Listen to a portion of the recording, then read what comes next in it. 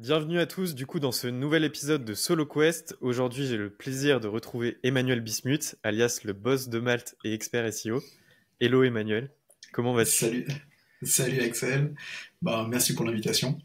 Donc euh, c'est avec joie, on se suit chacun un peu sur les réseaux sociaux et ben, du coup ben, c'est l'occasion d'échanger et puis euh, j'espère que cet échange profitera à d'autres. Ouais, carrément. Bah, je te propose c'est qu'on aille euh, dans le vif du sujet et que tu commences par te présenter pour ceux qui te connaissent pas forcément. Avec plaisir. Euh, bah en fait, le, le, pour faire simple, euh, on va dire voilà, ça fait à peu près 10 ans que je suis indépendant. J'ai démarré, euh, je pense, en 2000, 2011-2012. Euh, Aujourd'hui, j'ai 43 ans et ça fait maintenant une dizaine d'années que je travaille dans le marketing digital et plus particulièrement sur des euh, leviers SEO, Google Ads. Euh, voilà, c'est à peu près ce que je fais depuis 10 ans un peu plus maintenant, avec euh, le fait que depuis maintenant un an, euh, j'aide euh, pas mal autour de moi d'autres freelances aussi. Donc ça, c'est une nouvelle casquette que j'ai lancée, d'aider d'autres solopreneurs, d'autres freelances, pas forcément des freelances SEO, mais toutes sortes de freelances, à cartonner, entre autres d'ailleurs sur Malte. là, je sors bientôt une Bible Malte. mais Malte, ça m'a beaucoup aidé au lancement de, de mon activité de freelancing. Et donc là, c'était pour moi un peu de voilà boucler une boucle et puis aider en même temps tous les freelance qui se lance, qui cherche à se développer. Euh, et puis voilà, en, quelques mots, ce que je fais. Ok, euh, bah on va y revenir, euh, je pense, sur ta Bible Malte tout à l'heure.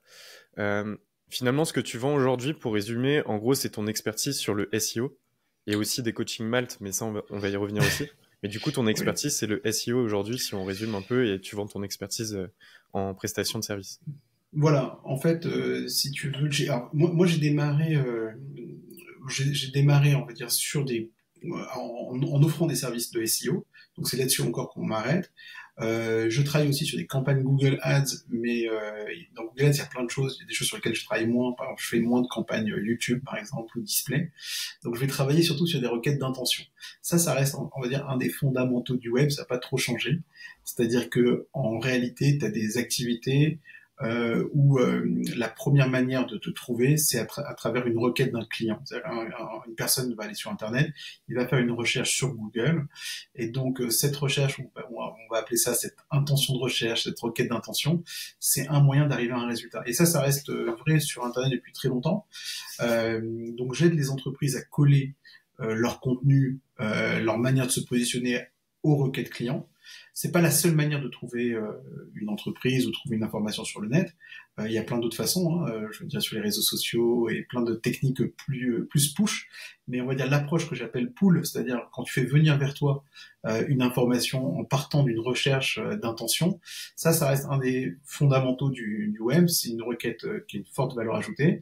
Et donc c'est un peu ma spécialité. Donc travailler pour que une entreprise euh, un freelance, un indépendant, euh, lorsque euh, un internaute fait une recherche, on, puisse le trouver. Et tu te vends comment du coup auprès de tes clients? Tu vends des résultats ou tu vends une offre finalement, enfin à la valeur perçue ou au temps passé, alors, enfin? Alors en fait, c'est très difficile de vendre du résultat. Mais en, en réalité, j'ai envie de te dire, si tu veux, même dans la plupart des métiers, tu peux pas vraiment vendre du résultat. C'est-à-dire que hier, j'en parlais avec Benjamin Dubreux, tu vois, lui il disait, euh, quand tu travailles en régie, tu vends ton temps, tu vends des compétences. Euh, quand tu travailles au forfait, tu vends un résultat. Euh, à mon sens, c'est pas vraiment le cas. même au forfait, tu ne vends pas un résultat, tu vends une obligation de moyens. C'est-à-dire, tu dis, tu, peux, imaginons que tu es designer de logo, tu peux faire un logo, tu le livres, tu le vends, à 500 euros. Il peut ne pas plaire au client il va passer peut-être à une deuxième commande, etc. Donc c'est un peu la même chose en SEO. Euh, il y a des bonnes pratiques. C'est-à-dire qu'aujourd'hui, ça fait quand même plus d'une dizaine d'années, euh, même plus de 20 ans que Google existe, par exemple. Euh, donc l'optimisation sur les moteurs de recherche, il y a des bonnes pratiques qui sont issues. Donc en général, quand tu les mets en place, tu as des résultats. Maintenant, euh, les résultats sont pas les mêmes. Est-ce que le, secteur est très niché et ça va être assez facile de, euh, de, de, choper des premières places, ou bien le secteur est très concurrentiel et ça va demander beaucoup d'efforts, euh, les résultats ne sont pas absolument garantis. Donc en fait, je, je vais vendre des services euh, avec une obligation de moyens en faisant le maximum pour mon client. Euh, il peut y avoir parfois des success feeds, en disant, bah, tiens, on a mis, si on atteint tel et tel résultat, il y aura un boost mais euh, en général, je suis pas un grand, euh, comment dire, euh, croyant des, des prestations à la performance. C'est-à-dire que si tu as ce résultat, alors je te paye. C'est ça pour moi, c'est très spécifique à certains métiers comme les métiers de l'immobilier. Euh, mais, mais, mais dans le référencement naturel, et je pense d'ailleurs c'est le cas de 99% des freelances, euh, vendre du, euh, du résultat, c'est très peu approprié. Ça existe dans le monde des VC, dans le monde de l'immobilier.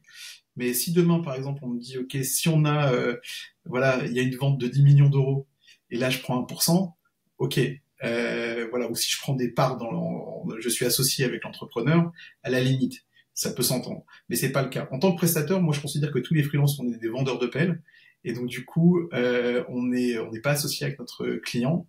Euh, donc on vend un, on vend des services pour l'amener le plus loin possible. On a une obligation de moyens et on essaye de faire en sorte que le résultat soit le plus euh, élevé possible en lui indiquant quels, seraient, quels sont nos objectifs et les résultats qu'on peut euh, légitimement prétendre attendre. Ouais. Bah, en fait, en régie, tu vends vraiment ton temps. En forfait, finalement, tu vends euh, pas un résultat, mais en tout cas un livrable. Oui. Et ce livrable, finalement, peu importe le temps qu'il te prend, si ça te prend plus de temps et que, par exemple, si tu avais vendu en régie, bah, tant pis pour toi. Mais ça peut être intéressant sur certains métiers de vendre le livrable plutôt que de vendre son temps. toi, du coup, c'est quoi ton fonctionnement? Tu vends ton temps ou tu vends plutôt au livrable alors, c'est, alors, on va, alors, je vais, alors, je vais vendre au forfait, mais c'est vrai que c'est le forfait, il est quand même très lié au temps. C'est-à-dire que donc c'est un mix des deux. On va dire comme ça. Si tu veux, dans, dans, le dans le SEO, même dans le Google Ads, tu vas avoir des missions ponctuelles. Par exemple, la mise en place d'une campagne Google Ads, euh, un audit Google Ads, un audit SEO, un plan d'action. Donc ça, ce sont des actions ponctuelles. Euh, donc il y a un début, une fin, il y a un livrable et puis ça s'arrête. Euh, après, normalement, si tout se passe bien, si l'entreprise a euh, des besoins récurrents, c'est un peu ce que je cherche. Euh, donc là, il y a des logiques plus d'abonnement. Donc là, on, on s'approche de logiques un peu plus en régie. Donc moi, j'impose à mes clients le mode de télétravail. Donc c'est-à-dire qu'il faut dire, ok, je suis prêt à travailler pour vous sur la durée. Ça va représenter par exemple deux jours par mois, euh, un jour par mois, trois jours par mois. Euh, et là, on est dans une logique de régie. Et euh, ça peut être pendant une période de trois mois, de six mois plus. Euh, si, alors c'est ce qui s'est passé les dernières années, si jamais euh, j'ai plus de bande passante et euh, ça demande plus de compétences, donc ça m'arrive de travailler également avec d'autres freelances. Euh, et c'est pour ça que j'ai ouvert en fait un collectif d'indépendants euh, à Colads. Euh, et ça, c'est une autre activité, mais au final, voilà, je me considère pas comme un directeur d'agence, mais vraiment comme un freelance, parce que je fais encore énormément d'opérationnel, énormément de choses moi-même. Euh, mais là, tu auras vraiment du forfait, en tout cas, pour répondre à ta question, du forfait, du ponctuel, euh, assez limité dans le temps. Et la récurrence, là, par contre, je vais proposer un travail dans une logique de régie, en télétravail, et euh, ça va et on adapte le temps passé avec le client ce qu'il a besoin en fonction de ses besoins. Ok. Euh, bah, tu as abordé un point euh, ultra intéressant qui est le modèle agence. Euh, finalement, en gros, bon, on, on, va revenir sur toute la partie Malte après, mais je pense que tu as eu beaucoup de leads et tu pouvais pas forcément prendre tous les leads. Et du coup, ton oui. raisonnement, c'est que bah, tu montes ton agence et tu délègues, on va dire, à d'autres personnes. C'est oui. quoi le modèle que tu emploies? Tu prends une commission sur la mission alors, ou alors tu as un autre modèle? Alors en fait, si tu veux, le... moi, à mon sens, euh, les freelances, d'abord, c'est un peu aussi une révolte contre les agences.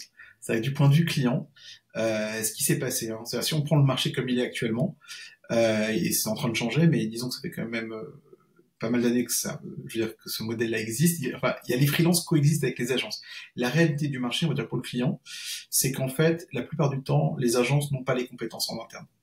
Euh, pour plein de raisons. C'est-à-dire qu'elles peuvent pas recruter euh, les talents, ça change tout le temps. Euh, donc c'est très très compliqué pour euh, un client de trouver une agence avec véritablement des talents de qualité. Alors parfois les fondateurs sont très talentueux, mais eux-mêmes ils vont avoir du mal à aller au-delà et puis recruter massivement euh, des personnes aussi talentueuses qu'elles. Donc souvent les agences sont assez déceptives du point de vue on va dire des clients.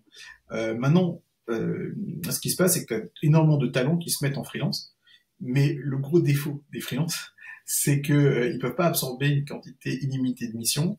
Euh, quand ils sont à un moment donné, ils sont tout à fait, ben, peuvent plus euh, aller au-delà.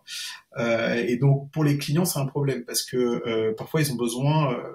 Je te prends un exemple. Moi, c'était la première fois où j'ai senti vraiment le problème, c'est que j'ai gagné sur Malte. Alors non, je sais plus si c'était sur Malte d'ailleurs ce client. Ah non, je crois que c'était pas. Peut-être, en tout cas, c'est un client peut-être qu'au départ j'avais eu via Malte, mais c'était une agence. J'ai travaillé avec une agence, une, agence, et cette agence m'a m'a positionné sur un appel d'offres pour Carrefour, et là, je l'ai gagné, mais c'était ça demandait un travail avec plusieurs personnes. Et donc là, du coup, je me suis dit attends, comment il faut qu'on fasse?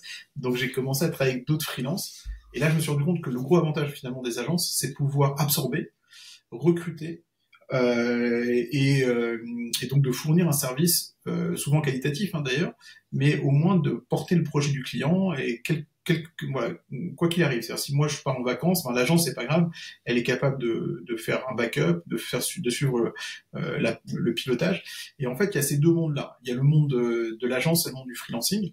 Euh, et comme tu l'as dit, euh, quand, euh, quand tu es top freelance, à un moment donné, voilà, sur Malte, ce qui se passe, c'est que tu as trop de demandes. Et donc, euh, le, ce qui me semblait naturel à un moment donné, c'était de dire, bah alors ok, si c'est comme ça, j'ai tellement de demandes, bah pourquoi ne pas créer moi-même une agence?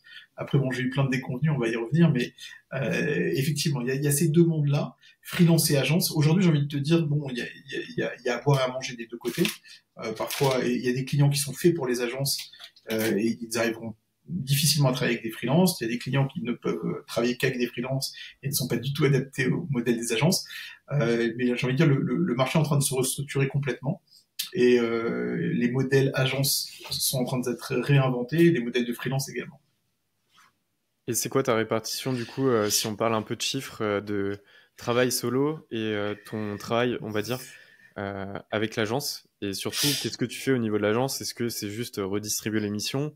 Et ta répartition de temps de travail entre les deux? Alors c'est une très bonne question. Euh, parce que ça c'est un... Alors pour te dire, pour être le plus précis, moi à un moment donné j'ai complètement arrêté mal. Ça veut dire je me suis dit, euh, j'ai pas envie de... de... Ça m'a fatigué, je fais que du consulting, que de la presta. Je vais scaler sur les euh, sur les sur d'autres freelances, en vendant un peu leur temps. Euh, donc à un moment donné j'ai complètement délaissé ça et j'ai dit je vais commencer à travailler en mode agence. Donc c'était en 2019. Euh, j'ai perdu d'ailleurs mon statut supermalter, donc j'étais moins visible, mais ça m'inquiétait pas. Euh, j'ai commencé à recruter, et là en fait, ce qui s'est passé, il y a eu deux, deux choses. C'est d'abord, je me suis rendu compte de la difficulté du recrutement euh, quand, quand tu es dans une agence, la difficulté que ça représente le management, le fait que de nombreux talents euh, été freelance. Et ce qui s'est passé en fait, c'est que j'ai eu euh, des personnes qui étaient très bonnes, qui sont mis en indépendant. Ils m'ont dit bah je veux plus être salarié chez toi, je me lance en indépendant euh, sur Malte. Donc c'était un peu dur. Je, gardais finalement les profils qui n'étaient pas forcément les plus talentueux. Et euh, arrive le Covid, et là, euh, je me retrouve un peu euh, bloqué. C'est-à-dire que je me dis, attends, je suis en train d'avoir une, de, de, créer une agence. j'ai, je perds beaucoup de temps en management, je garde pas forcément les meilleurs talents. Donc là, ça m'a un peu inquiété. Je suis revenu à un modèle un peu plus, on va dire, de collectif d'indépendants. Aujourd'hui, je me suis entouré d'autres experts. et on va dire là, depuis allez, un an, je suis en train de vraiment de rééquilibrer. mon idée, en fait, c'est de plus en plus, c'est de répartir. Euh, Aujourd'hui, la partie agence ne doit pas représenter plus de euh, allez, 30 à 50%, alors que euh, voilà, actuellement, c'est... Enfin, encore l'année dernière, c'était peut-être 70-80%. Là, j'essaye de réduire à 50%. Et mon idée, c'est peut-être demain d'arriver à 30%. C'est moi, mon, mon, rêve, si tu veux, serait de dire, allez, je fais un tiers de un tiers euh, entre 30 et 50% vraiment du consulting de la presta en solo euh, un tiers peut-être pour l'agence, euh, le collectif, et puis euh, le reste, on va dire, ce sera pour toute la partie solopreneur, création de contenu, formation, etc. Mais effectivement, aujourd'hui, je me considère vraiment comme un solopreneur. C'est-à-dire qu'il y a une grande partie quand même freelance, une partie fondateur d'agence et une petite partie solopreneur, création de contenu. Avec, c'est là-dessus que je cherche plus à scaler. Ma, ma, ma, grande découverte, si tu veux, dans les dans les dernières années, c'est que voilà, à mon sens, il n'y a pas de scale possible euh, dans le domaine euh, des agences. C'est-à-dire qu'ils te, te, racontent tous, oui, on a des super process et tout, mais scaler sur de l'humain, c'est hyper difficile. Soit tu as énormément d'argent, tu as des process super difficiles, super en place, euh, tu as levé pas mal et tu as des clients euh, béton, mais il faut être excellent. C'est pas évident. Moi, mon sens, la tendance, elle n'est pas là-bas. La, la, la, la, tendance, c'est pas... Euh, c'est pas de, c'est clairement pas de se développer sous le format d'agence. La tendance est plutôt de travailler sur des collectifs autonome, qui fonctionne bien, et de réussir plutôt en tant que solopreneur. C'est ce qui m'intéresse, euh, soit solo, soit avec des collectifs assez autonomes. Mais aujourd'hui, les agences, quand je vois la réalité des agences, c'est-à-dire à moins que tu aies une âme de manager, à moins que tu aimes euh, recruter en permanence, etc. Mais as des, les gens restent 2-3 ans. Euh, la moyenne d'âge dans les agences est très jeune. C'est difficile pour des consultants un peu seniors de rester en agence. Donc c'est un modèle où tu manages des personnes, tu les formes, ils restent chez toi entre 2 et 5 ans. Euh, c'est pas, c'est vraiment pas évident. C'est pas, c'est pas un modèle qui m'excite vraiment. Quoi. Ok, mais en fait pour euh, scaler en agence et scaler sur l'humain, euh, bah t'es euh, dans la contrainte de recruter plus aussi. Oui. Euh, pour faire plus de chiffres, tu dois avoir plus de personnes. du coup, c'est pas forcément un modèle qui est en fait, tu scales aussi tes problèmes. Plus tu as de personnes, plus euh, tu as aussi des problèmes de, de, gestion ou autre. Donc, euh, est-ce que tu pourrais nous donner un peu tes chiffres, euh, du coup, euh, entre les deux? Bah, je peux te dire, ouais, je peux te dire un petit peu les chiffres. Allez, on, va prendre des deux dernières années, par exemple. en fait, si tu veux, alors, on va prendre trois catégories. la partie, la partie vraiment solo, ça veut dire prestat solo que je fais en dehors de l'agence. Euh, je dois faire, je fais à peu près, allez, 45-50 000 euros sur Malte. Donc ça, euh, c'est, euh, je fais ça depuis des années. En fait, je me réserve à peu près euh, une journée par mois, euh, par semaine à peu près de travail uniquement sur Malte. Donc je fais à peu près 50 000 euros, on va dire 45-50 000 euros par an. Je dois faire encore 45-50 000 euros seul. alors ça, ça vient sur des euh, sur des activités qui sont euh, du coaching euh, mal, du consulting one shot, un peu d'apport d'affaires. Donc ça me fait en solo solo, je dois faire à peu près 100 000 moi, ce que j'ai fait dans les deux dernières années, c'est surtout, surtout développer l'agence. Et sur l'agence, alors en, réalité, euh, j'avais donc euh, Accolades. Sur Accolades, on fait, alors ça dépend des années, mais entre 600 et 800 000 euros de chiffre d'affaires. Euh, et à côté de ça, j'avais développé dans les dernières années aussi une agence euh, de, de, vidéo on avait fait 300 000 euros de chiffre d'affaires euh, sur la première année. Là, maintenant, quand j'ai regardé la rentabilité de cette, cette partie-là, ça veut dire, alors certes, on a dépassé, on va dire, sur la partie agence, on était proche de, si je cumule, on va dire sur 2023, on était proche euh, de, entre 1 million et 1 million 2 en chiffre d'affaires, mais la marge était pas bonne. Euh, on avait euh, des retards de paiement client, euh, des difficultés de process, c'était euh, énormément de, de, de, travail, beaucoup beaucoup d'inquiétudes, etc. et donc je me suis dit attends finalement que je regarde le résultat des courses, je dis alors c'est bien beau de faire un million en mode agence, mais combien réellement moi là-dessus je peux me servir? Et au final je me suis rendu compte que je passais en dernier parce qu'il fallait, euh, c'est moi qui prenais euh, les impayés, c'est moi qui prenais les retards de paiement. Donc là, je me suis dit bon bah à ce, niveau-là, ça m'intéresse pas. Donc je suis en train de réduire la voilure sur la partie agence, de me concentrer sur les parties vraiment rentables. Euh, moi, mon objectif demain, c'est plutôt de de faire plutôt 500 000 sur la partie agence avec une meilleure rentabilité. mon idée, c'est de dire voilà trois temps euh, garder de la presta parce que c'est ce qui nourrit, euh, ce qui nourrit ma créativité, ce qui permet de rester dans le game. Donc ça, si je peux faire 150, 200, c'est très bien. Scaler sur du soloprenariat où là je fais zéro, je sais pas, j'ai jamais sorti de produit, c'est mon premier produit, la Bible Malte. Si demain je fais 100 000, 200 000 là-dessus et que je crée d'autres produits, là ce serait le top. Donc c'est un peu là-dessus que je, je, me lance maintenant. Euh, et la partie agence, je pense qu'elle est toujours fondamentale. Donc euh, là aujourd'hui, c'est euh, je table sur une baisse du chiffre d'affaires parce que je, j'ai réduit un peu cette partie-là. Euh, mais si je prends si, si, je fais 500 000 euros de chiffre d'affaires, moi j'aimerais bien là-dessus euh, prendre 10-15% de marge. De, là, je te parle de marge brute. Donc après, oh, voilà. Bah, t'as, as donné pas mal de chiffres. bon, forcément, le, le chiffre d'affaires, hein, c'est pas ce qu'on se met dans la poche. Hein, faut, faut bien le rappeler. Alors, on, me taperait sur les doigts si j'abordais pas euh, le sujet Malte, puisque tu es quand même connu. Euh, en fait, là, tu as mentionné que tu avais une newsletter niveau média. Euh, tu publies aussi sur LinkedIn et tu es assez connu quand même pour parler de, de Malte, puisqu'en gros, tu as plus de 380 missions sur la plateforme et beaucoup d'avis sur Malte. Tu fais des coachings sur Malte, tu vas lancer ta Bible sur Malte. Euh, enfin, tu es un peu l'expert de, de Malte. Est-ce que tu peux nous en dire plus? Est-ce que ton acquisition client s'est toujours tournée et toujours faite via Malte ou tu as d'autres moyens de trouver tes clients euh, également? Alors, alors, en fait, ce qui s'est passé, c'est qu'il y a euh, il y a 10 ans, j'ai créé une startup et ça n'a pas marché comme je voulais, mais j'ai acheté, j'ai acheté des prestats sur Malte. Et je trouvais ça assez simple, donc j'ai aimé le process. Quand j'ai fermé la startup, je me suis dit, tiens, je, le temps de créer une nouvelle idée, je vends de la presta, du consulting, parce que j'avais épuisé mes droits d'acre, etc. J'avais plus aucun droit, il fallait que je fasse rentrer du cash rapidement et j'ai trouvé ça sympa. Mais la réalité, c'est que pendant longtemps, euh, j'étais pas convaincu euh, du modèle du freelancing. Pour moi, un freelance, c'était quelqu'un qui, euh, euh, voilà, le temps de créer une entreprise. C'est pas une activité sérieuse, donc j'ai pas voulu creuser ça. Mais ça m'a pris du temps euh, de trouver d'abord une autre idée. J'ai pas trouvé d'autres idées, j'ai pas trouvé d'autres marchés, je suis pas, j'ai pas trop creusé. Surtout, je me suis rendu compte que ça rémunérait beaucoup mieux au final. Euh, le, le, gros intérêt en fait euh, qui s'est passé pour moi en tout cas pendant euh, les années où euh, je me suis lancé sur Malte au tout début, c'est que d'une part j'ai découvert combien c'est dur l'entrepreneuriat et j'ai pu relativiser mon échec. Ça veut dire c'était pas si simple de recruter, pas si simple de, euh, de, réussir, d'avoir une, une, bonne marge, etc. et je me suis dit ben tiens, au lieu de trouver de l'or, peut-être vendons des pelles, c'est un peu plus simple et donc soyons consultants et finalement c'est tout à fait honorable. Donc ça c'était déjà un premier état d'esprit. La deuxième chose, c'est vrai que assez vite euh, quand je voyais que ça marchait bien pour moi sur Malte, euh, je me suis dit attends il faut que je, je trouve d'autres missions ailleurs et d'autres façons de me, faire connaître. Donc j'ai travaillé comme le SEO de mon site, j'ai travaillé d'autres canaux d'acquisition euh, et petit à petit le bouche à oreille, les partenariats. À un moment donné, j'ai plus besoin de travailler mon acquisition. C'est qu'aujourd'hui je fais zéro commercial et ça ça fait maintenant. Euh, la, la, réalité c'est que enfin zéro commercial. Je fais zéro prospection précisément. C'est-à-dire que je passe du temps dans la partie commerciale, mais avec des leads qualifiés. Que, euh, donc, euh, en fait, aujourd'hui, euh, Malte, c'est toujours un super actif, dans le sens où j'ai des leads très, quali très qualitatifs qui viennent régulièrement sur, sur ma boîte mail.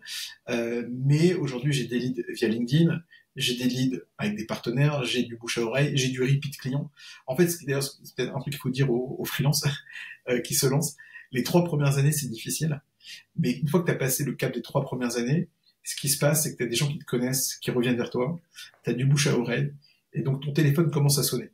Donc en gros, le plus dur, je ne dis pas qu'après c'est facile, je dis juste que le plus dur, c'est vraiment les trois premières années, parce que euh, faut choper les premières missions. Mais c'est vrai que quand tu aujourd'hui, je me suis rendu compte de ça euh, l'année dernière, c'est que mon canal d'acquisition client numéro un, c'est le repeat client, le repeat d'anciens clients en fait.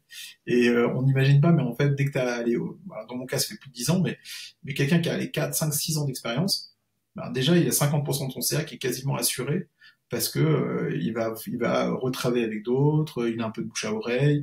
Euh, il, il, avait fait le, je sais pas un développeur, il aurait fait le site euh, d'un client il y a trois ans. Il va revenir vers lui en lui demandant est-ce que je, voudrais faire une refonte? Donc normalement t'as plus trop besoin de faire de prospection. Donc moi, moi je fais pas de prospection, tout est ah, inbound. Si, je peux faire un retour sur ce point-là, en gros, euh, avec mon mon expérience de, on va dire bébé bébé freelance, euh, moi, ça fait un peu plus de deux ans que je suis en freelance, donc euh, je suis loin des dix ans que toi, tu es en freelance. Euh, en gros, la première année, c'est ultra compliqué. Je dépendais vachement de Malte pour trouver mes clients. mais Malte, c'est un super moyen de faire de l'inbound et de, en gros, juste setup son profil. Enfin, juste. on s'entend, mais il faut l'optimiser, bien sûr. et du coup, tu fais une l'inbound où tes clients viennent à toi. donc, c'est pas mal quand tu commences. Et moi, pendant toute ma première année de freelance, en 2022, euh, du coup, tous mes clients sont venus comme ça euh, via Malte. Et euh, tu te fais un annuaire de clients. Et ensuite, la deuxième année, troisième année, moi, là, en gros, c'est tout le temps du repeat aussi, comme tu l'as mentionné. Et j'ai moins de difficultés. En fait, j'ai moins de clients à faire entrer aujourd'hui qu'à mes débuts où finalement, mon annuaire de clients, j'en avais quasiment pas. Donc, il fallait continuellement faire rentrer de nouveaux clients. Là, aujourd'hui, il euh, faudrait que je regarde d'ailleurs les chiffres, mais euh, je pense que la plupart des clients, j'ai dû travailler deux, trois fois avec eux. Euh, c'est rare les clients avec qui j'ai travaillé qu'une seule fois. souvent, ils avaient un besoin similaire et on a re-signé une nouvelle mission, mais aussi parce qu'il y a la, satisfaction client et qu'ils étaient contents de, la première mission. D'ailleurs, d'ailleurs, sur ce point, je préciserai un truc sur lequel j'ai fait une erreur. Il ne faudrait pas la refaire. C'est comme tu as dit, tu vois, c'est du repeat on n'est pas dans des modèles de SaaS avec de la rétention euh, mensuelle client, euh, mais c'est qu'un même client va faire appel à toi deux fois, trois fois, quatre fois. Euh, par contre, ils sont peut-être réticents à dire je prends un abonnement chez Excel. ça, ils le feront peut-être pas. Mais par contre, ce que je me rends compte, c'est qu'ils vont pas hésiter, une fois qu'ils te connaissent et qu'ils sont contents de ton travail, à faire appel à toi plusieurs fois. donc, d'ailleurs, dans, dans, mon cas, tu vois, je m'éloigne de ce modèle SaaS. Ça veut dire, en réalité, je considère que une mission ponctuelle ou un abonnement, même sur la durée, tout me va, tout est ponctuel en fait, dans, un sens. mais il y a, comme tu dis, une grande partie de ton chiffre d'affaires qui va être générée simplement parce que tu retravailles avec les mêmes clients. Est-ce que du coup, tu aurais des conseils pour les freelances qui se lancent sur Malte pour trouver des clients aussi? Alors oui, il y, a plusieurs conseils effectivement. Alors d'abord, tu vois, je, voudrais, euh, voudrais m'arrêter sur deux petits points. Déjà, il y a beaucoup de clients quand ils voient mon profil avec 380 missions, ils disent non Emmanuel, il va être trop cher pour moi. Euh, Emmanuel, il est trop occupé. Euh, voilà. Donc en fait, je suis pas forcément une bonne opportunité pour euh, tous les clients. Déjà, il faut comprendre que on n'est pas comme sur Amazon exactement. C'est sur Amazon, tu vois, si tu vois, j'en sais rien, tu vas acheter un frigidaire et tu vois qu'il y a eu 4900 avis, bon, tu dis je prends le même et puis je me casse pas la tête, tout le monde est content. Euh, sur un freelance, c'est un peu autre chose qu'il y a une relation humaine. Tu, euh, donc c'est pas tout le monde qui va aller chercher le, forcément celui qui a le plus de missions. Euh, quand tu te lances, donc t'es boosté en fait. D'abord comme t'es un nouvel utilisateur, t'es un peu boosté là-dessus. Et ça ressemble un peu plus à ce que tu as sur Airbnb. Tu sais, demain, tu loues un... Tu l'as déjà vu en tant qu'utilisateur Airbnb. Euh, tu sais que parfois, tu as des super opportunités sur des biens, justement, qui sont pas encore très bien notés ou qui sont nouveaux sur la plateforme. Quand ils sont nouveaux, souvent, les prix sont un peu plus bas. Euh, et toi, si tu es un habitué d'Airbnb, tu, tu vas pas dire forcément c'est un mauvais, euh, c'est un mauvais bien. Tu dis non, ça peut être une opportunité. Il vient d'arriver sur la plateforme, il n'est pas très cher, euh, mais il attend d'avoir euh, de collecter pas mal d'avis. Donc ce, ce, comportement client, il y en a beaucoup qui l'ont. Et donc ça veut dire qu'en fait, il y a une réelle possibilité pour des nouveaux entrants en permanence de prendre des positions sur Malte, euh, parce que les gens ne sont pas forcément très sensibles au fait que euh, j'ai fait 380 missions. C'est-à-dire que c'est pas, euh, ils arrivent, ils se disent pas, c'est Emmanuel qui connaît, et puis Axel, non, non, lui il démarre, je veux pas. donc, donc déjà, t'as pas ça. Après, le, le, deuxième point, pour répondre plus précisément à ta question, c'est comment tu fais pour démarrer. Donc à partir du moment où on dit qu'il n'y a pas de concurrence vraiment, le, il y a un vrai travail sur le soin que tu apportes sur ta fiche. Ce que, ce que moi j'ai découvert en coachant euh, des freelances, c'est qu'en gros, hein, tu avais deux gros problèmes. tu avais ceux qui n'avaient pas du tout hein, travaillé leur positionnement, euh, leur fiche, n'avaient pas compris comment ça, ça, ça, ça, fonctionne. Et, le, et la deuxième catégorie, c'est que tu as des personnes qui, euh, en fait, ont les compétences, ont un profil, mais ils ont des grosses difficultés en matière de transformation prospect. C'est-à-dire qu'ils ont du mal à closer un prospect pour plein de raisons, soit parce que euh, ils ont jamais fait de phase commerciale dans leur vie, ils ont été salariés, ils ont jamais. Et c'est vrai que quand tu es freelance, on va dire peut-être entre guillemets un des défauts du freelancing, c'est que tu dois être capable de vendre. Euh, et euh, sur Malte, c'est pas de la vente sur étagère. Donc il faut quand même travailler ce skill. Donc en gros, pour moi, tu as deux skills à travailler. C'est l'optimisation de ton profil, qui passe par le choix de ton titre, tes compétences, le descriptif en particulier. Donc ces aspects-là, euh, titre, compétences, descriptif et ensuite plein de petites choses. Euh, et ensuite, une fois que tu reçois des demandes, il y a quand même des, euh, des bonnes pratiques euh, pour closer l'émission, c'est-à-dire choper un rendez-vous avec son, son, prospect, mener un call découverte, envoyer un devis, le relancer si jamais il fait un no-show. Et en fait, il y a trop de personnes qui sont pas bons sur la deuxième partie. Donc, on a autant qui sont pas bons sur l'optimisation de leur profil, d'autres qui ne sont pas bons sur le closing. Or, il faut travailler ces deux aspects-là pour pouvoir euh, réussir sur, sur Mac. C'est marrant parce que j'ai aidé pas mal de personnes du coup sur la partie optimisation euh, parce qu'en gros il y a quand même en fait la plupart des personnes qui mentionnent que leur profil sur Malte ne fonctionne pas la plupart du temps c'est que le profil il est éclaté ou alors que peut-être ils, essaient de convaincre le client mais finalement ça va pas convaincre l'algorithme de Malte en termes de, SEO euh, ils vont mettre des phrases alambiquées. Euh, je suis force de proposition euh, pour vous aider dans vos projets. Enfin, finalement, c'est des phrases qui, qui servent à rien du tout. sur la deuxième partie, ça, moi, j'ai jamais vu le cas de personnes qui n'arrivent pas forcément à closer. toi, tu as fait des accompagnements sur Malte en termes de coaching. tu en as vendu, je crois, plus de 200. Et aujourd'hui, tu as aussi ta Bible Malte. enfin, est-ce que tu pourrais déjà nous parler de tes accompagnements et après de ta Bible que tu es en train de construire avec Sophie Roy? avec plaisir. En fait, si tu veux, l'optimisation de profil, c'est un point important. Euh, en fait, euh, comment dire, euh, tu as des gens qui n'ont pas de difficultés particulières à closer. Hein. C'est des gens qui sont naturellement euh, commerciaux. Alors, même si je précise quand même une chose qui est importante, c'est que quand tu es freelance, en réalité, t'as pas tellement besoin de vendre. Ça veut dire, euh, tu, montres ce que tu sais faire et les gens, ils achètent tes compétences. Si tu réponds à leurs problématiques, euh, t'as pas besoin d'être euh, un vendeur de tapis, en fait, euh, de forcer la vente. c'est vraiment quand même, a priori, le client, il a un besoin en particulier. Tu lui montres que tu connais sa problématique, tu es capable de, la résoudre, et ça fait de toi un bon commercial. Donc en gros, c'est plutôt créer cette atmosphère de confiance. Il n'y a pas tellement besoin de, de faire du forcing. Donc ça, c'est déjà un premier point. Le, le, ce que j'ai découvert par contre, c'est que tu as quand même des personnes qui n'ont pas les bons soft skills. Ça veut dire c'est tout con, hein, mais, mais euh, c'est un truc un peu, être un peu dur, mais tu vois, il revient là-dessus souvent, Thibaut. Il dit, euh, tu sais, euh, juste les soft skills du genre, t'es ponctuel à un rendez-vous, tu, tu, tu fais ce que tu dis. Tu... Oui, être fiable, finalement, respecter ce qu'on dit et ce qu'on annonce et donner des calendriers ou ce genre de choses.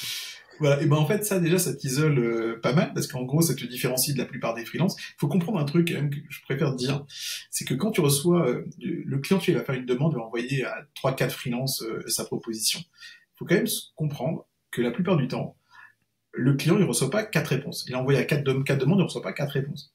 Il va en recevoir une ou deux seulement. C'est-à-dire qu'il y a beaucoup de freelances qui se plaignent et qui disent oui mais j'ai eu un no show, il me répond pas et tout. D'accord, très bien. Mais tu sais que du point de vue client, il y a aussi beaucoup de fois où lui aussi, il reçoit pas de réponse en fait à, à ses demandes. Pourquoi? La personne, elle n'a pas vu son message. La personne, elle s'est inscrite, elle est, elle fait, depuis, elle est pas sur sur mail. Donc en fait, ils, fait des, ils font tous des demandes 4-5 demandes, mais eux aussi, ils ont pas, ils pas de, réponse. Donc en fait, dans la réalité, c'est que si déjà euh, tu fais un retour et tu es suffisamment réactif, tu proposes un rendez-vous via ton calendly, il peut prendre euh, un rendez-vous sur ton agenda directement. Déjà, franchement, tu fais partie déjà du top 10 ou du top 20% en fait des, des freelances sur la plateforme. Donc, faut pas avoir peur des 200 000 ou 300 000 freelances que tu as. Enfin, il paraît qu'il y a 400 000 freelances sur Malte. Il y en a 180 000, si j'ai bien compris, en, en francophonie. euh, mais bon, la réalité, c'est que tu n'as pas tellement à avoir peur. Si tu décomposes tout ça, tu prends tous les secteurs, etc., et finalement, en fait, et, encore une fois, du point de vue client, les clients font des demandes entre 3 et 5. Ils vont pas faire des demandes euh, pour plus de 10 personnes. Euh, donc moi dans le coaching, ce que ce que je fais, c'est que je vais aider les personnes. Alors deux types de personnes, soit celui qui s'inscrit euh, pour lui faire le bon positionnement, le bon profil, pour qu'il commence à avoir des demandes. Donc ça c'est le niveau 1. T'as niveau 2, c'est j'ai un bon profil mais j'ai pas d'émission. En général, leur problématique c'est le closing, ils savent pas parler en fait. Tu leur rappelles un peu les soft skills, tu leur apprends un peu comment ça marche la démarche commerciale, euh, comment il faut euh, procéder tout simplement. Euh, et, en, et, en, général, là, tu découvres quand même pas mal de choses. En général, sur cette deuxième partie, c'est pas mal de devs, pas mal de personnes assez tech qui, qui, imaginent, enfin, qui, qui, ont une approche. Euh, euh, ils pensent que le freelancing, c'est un peu comme ils arrivent en entretien d'embauche. Donc ils montrent ce qu'ils savent faire et ils vont être sélectionnés. Alors qu'en fait, c'est pas ça du tout. Euh, il y a une façon de mener un call découverte euh, voilà, de créer une certaine adhésion entre euh, le prestat et son client. Euh, et ça, tu leur apprends en fait à le faire. donc ça, c'est un peu ce que je fais en termes de coaching. C'est-à-dire, j'adapte un petit peu mon, mon coaching aux besoins de la personne pour l'amener euh, à décrocher des missions et à améliorer ses performances. Mais j'ai accompagné aussi des personnes euh, qui cartonnent sur Malte. C'est-à-dire j'ai déjà eu des personnes qui font plus de 100 000 euros par an, euh, des personnes qui sont super Malter 3 mais qui ont fait, qui ont cartonné mais qui veulent aller encore plus loin, des personnes qui sont dans des refonds. Donc il y, a des profils très variés. et en, en réalité, la plupart du temps, on va dire à plus de 95%, ça fonctionne super bien.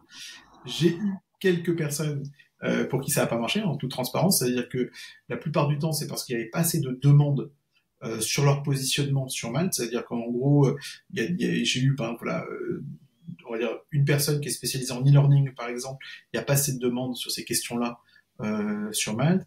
Des personnes spécialisées en transformation digitale, quand c'est un peu trop enfin, généraliste, souvent c'est des personnes qu'on va recruter. Et donc du coup sur Malte, on les trouve pas trop. Euh, même si aujourd'hui, voilà, Malte a ouvert Malte Stratégie, donc on va voir ce que ça va donner euh, plus tard. C'est pas, c'est pas encore, euh, on n'a pas encore beaucoup de retours bah, là-dessus. en, fait, pour rebondir sur ton point en termes de, de niche, moi, je peux donner mon exemple personnel. en gros, j'ai deux domaines d'expertise, l'automatisation et extension Chrome.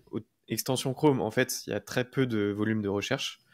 en fait, je me suis positionné sur la deuxième partie de 2023 sur Malte sur les extensions donc j'étais numéro 1, euh, je sortais euh, dans les apparitions euh, en premier. Mais pour autant, le volume de recherche n'est pas considérable. Du coup, là, en gros, j'ai fait un gros changement là récemment pour revenir sur les automatisations, où il y a un volume beaucoup plus conséquent. Mais forcément, quand tu es sur une niche où c'est, enfin, il y a très peu de personnes, tu vas pas forcément avoir beaucoup de missions ou beaucoup de demandes sur ta niche. Alors, ce qui est intéressant en même temps, c'est que tu as des, tu as des secteurs d'activité qui sont en train de se freelanciariser, si on peut dire. C'est que j'ai accompagné, si tu veux, avec succès, euh, tu vois, des, des, euh, des consultants juridiques des avocats, des comptables, des, des DAF, des métiers du management. Donc ça, c'est assez nouveau. Je pense qu'il y a plein d'opportunités dans les métiers de l'IA, tu vois. Euh, dans les métiers aussi euh, qui sont en train de dans la data, il y a aussi beaucoup d'opportunités. Il y a des opportunités aussi euh, dans tout ce qui est CRM, consultant CRM. Donc il y a pas mal de métiers en fait qui sont encore sous-représentés chez Malte. Faut pas imaginer que c'est complètement fini. Et il y a des métiers évidemment c'est beaucoup plus concurrentiel. Je prends je pas rédaction web, développement, mais en même temps voilà. justement, si on rebondit sur les métiers concurrentiels, c'est un peu une un contre-argument pour Malte, c'est qu'en gros, il y a trop de concurrence et du coup, ça marche pas sur Malte si tu es rédacteur web, est-ce que tu dois te positionner en tant que rédacteur web ou est-ce que tu dois te positionner en tant que rédacteur web spécialisé en euh, nanana euh, quelque chose? Alors moi je crois pas, euh, je crois pas aux niches en fait, si tu veux. Ça veut dire que pour moi, voilà, si tu, je te donne un exemple d'une fille, on peut la citer, elle est, elle est chez les punks du web, j'aime bien ce qu'elle fait, elle s'appelle Eva Crétois. Tu vois, Eva, en fait, elle a, elle, a, c'est une rédactrice, elle crée des contenus dans le monde du vin. Donc elle est vraiment exceptionnelle là-dessus. Elle crée des contenus super qualitatifs. Euh, Dans le monde du quoi? Du vin, du vin, tout ce qui est euh, viticulture, du vin. Euh, du vin. Ah, du vin. Je comprenais du vin. Je me suis dit. Ok. non, non, non, dans le vin, tu vois, elle travaille avec toutes sortes d'acteurs du vin. et en fait, elle, tu vois, elle crée des contenus super sur LinkedIn. Maintenant, si toi, t'es, je sais pas, t'es vigneron, tu veux faire la promotion de tes vins, quand tu vas aller sur Malte, tu vas taper, euh, je sais pas, rédaction web, tu vas taper, euh, je sais pas, copywriting, euh, tu, tu vas pas taper, tu vas pas imaginer qu'il y a forcément quelqu'un qui est dans le domaine du vin, qui écrit et qui a une expérience là-dessus. La requête du client, elle est, elle est souvent dirigée vers sa problématique, mais il n'indiquera pas forcément que lui, c'est un acteur du BTP ou parce qu'il il pense pas trouver ça à l'intérieur. Donc dans, dans son cas, par exemple, on va plus travailler des requêtes un peu généralistes et ensuite son aspect différenciant le côté qu'elle connaît parfaitement le monde du vin, ça c'est quelque chose qu'elle pourra présenter et faire sa sélection euh, par rapport aux clients qu'elle peut accompagner. Euh, sur des stratégies push, elle va mettre en avant euh, ce qui la différencie.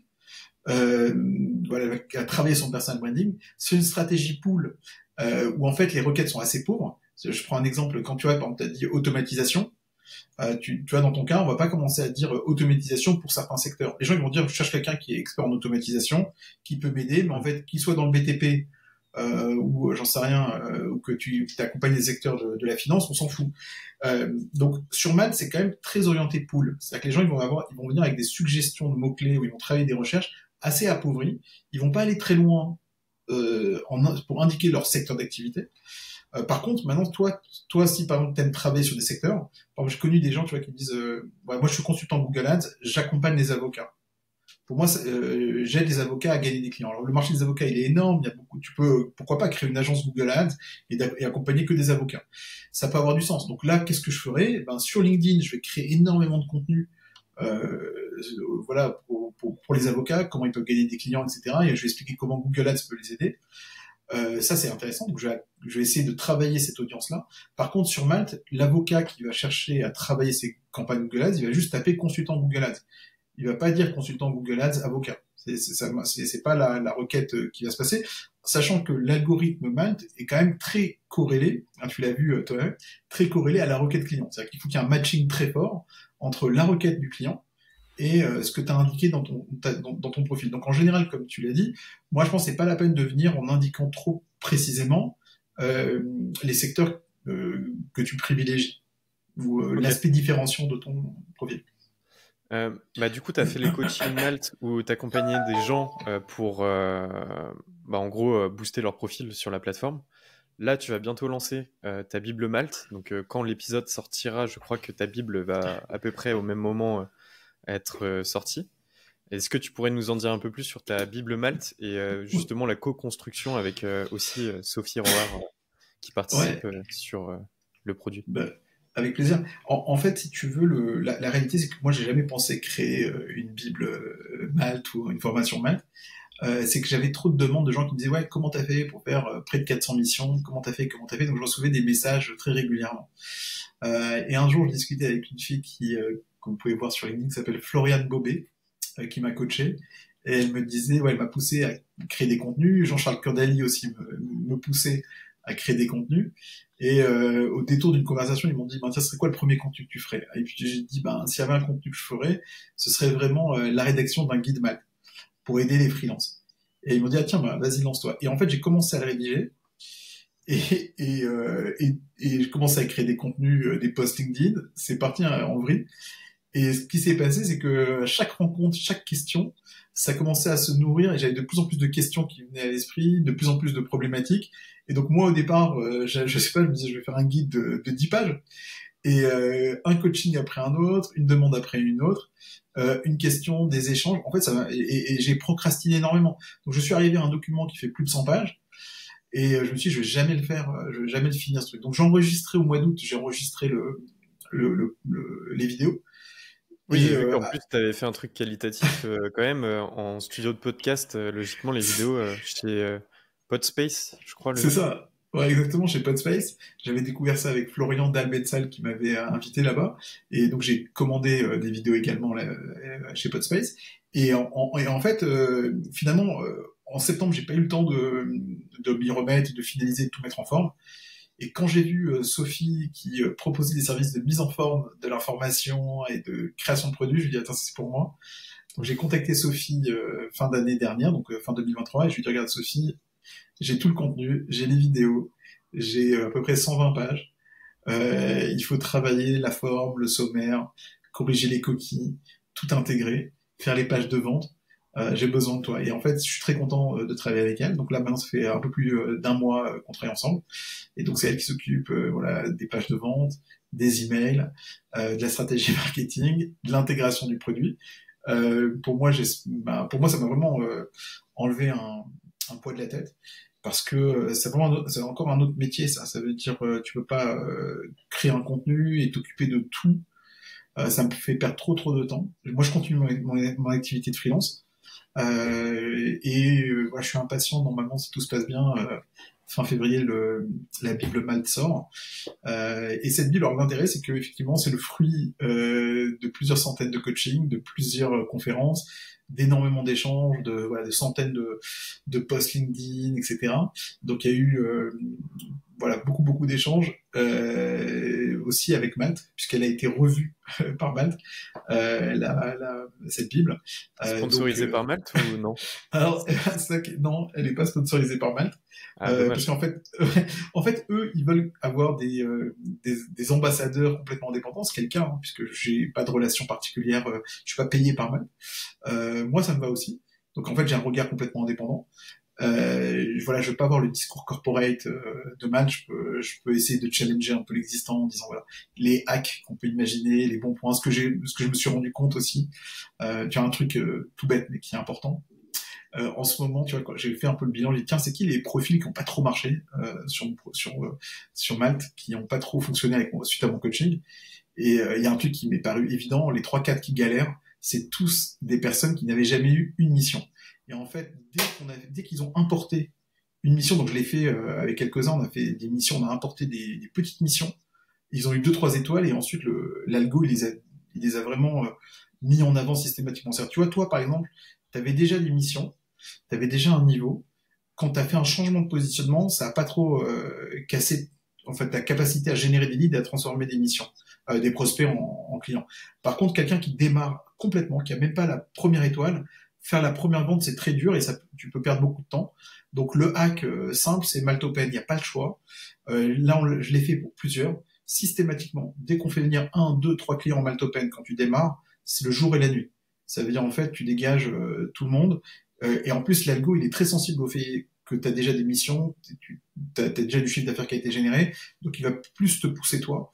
donc c'est vraiment un must. Un peu comme si toi, en tant que client sur Amazon, entre un produit qui aurait déjà des étoiles et un produit qui n'a aucune étoile, euh, il n'y a pas photo. Tu iras sur le produit avec déjà des, étoiles.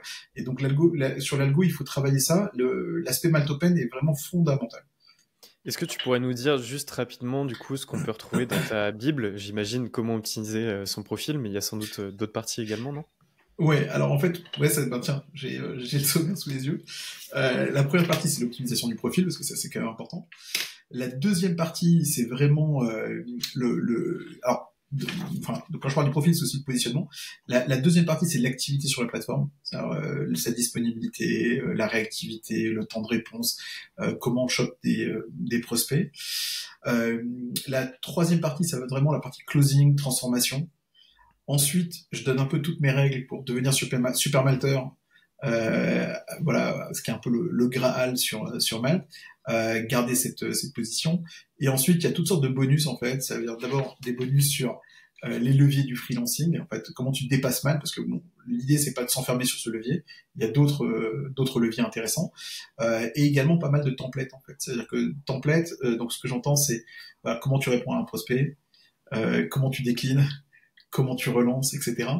et là concrètement, il y a à peu près une quarantaine de vidéos, deux trois masterclass euh, pas mal de templates, donc c'est un truc assez euh, conséquent. Moi, mon idée, c'est de sortir, euh, voilà, en 2024, une bible, j'espère, qui profitera au maximum de personnes. Et en fonction des retours, ben, de la mettre à jour régulièrement, parce que ce qu'il faut aussi se rendre compte, c'est que Malte fait des mises à jour de l'algo. donc il y a des choses qui changent. Le, bah, il y en a eu encore récemment sur les préférences de mission fin d'année. Ils ont changé beaucoup de choses. Ils ont complètement modifié le, le modèle de sélection des préférences de mission. Donc ça, c'est important de rester. Euh, Vous avez inversé Le, le, fonctionnement, c'était bizarre. Voilà. Euh, bah, ça, c'est important. Emmanuel, merci pour, ce, pour cet échange. Euh, je t'avais dit que je te libérais puisque tu as un autre call euh, juste après. On peut te suivre du coup sur LinkedIn. Tu as aussi ta newsletter euh, Freelance vers le million si les gens veulent s'abonner. Je mettrai les liens en commentaire. Il y a, peut-être un troisième élément. Non? Euh, ben En fait, euh, c'est troisième élément, moi, c'est que j'aimerais bien t'inviter sur ma newsletter de Freelance vers le million. Parce que, en fait, toi et moi, on a lancé cette newsletter récemment. Tu as lancé la tienne. Voilà, donc on, est, on est un peu au même niveau là-dessus. On, on, on lance quelque chose de nouveau sur les solopreneurs, le freelancing. Et en réalité, c'est ouais, ça m'intéresse de, de, de, te faire l'appareil, d'avoir aussi ton point de vue, parce que je me suis rendu compte, tu vois, il y a des nouvelles choses, des nouveaux axes euh, que des freelances plus jeunes peuvent apprendre. Euh, et, euh, et puis voilà, donc j'ai cette newsletter, Freelance vers le million. Euh, moi, moi, ce qui, ce qui est certain, voilà, le, le vrai sujet qui m'intéresse, c'est c'est qu'aujourd'hui, freelance, c'est un, vrai métier c'est une vraie carrière et on peut aussi être très ambitieux en tant que freelance. Donc euh, c'est pour ça que voilà, je suis ravi d'être invité chez toi et puis euh, je serais ravi d'en faire pareil pour euh, encore plus populariser ce, statut ou ce, cette posture de freelance qui à mes yeux est très importante. Yes, carrément. Bah, merci en tout cas pour ce mot de fin et on se tient au courant du coup bah, pour freelance vers le million. Mais merci à toi en tout cas pour, pour cet échange. Bah, merci Axel. À très bientôt. Merci. Salut.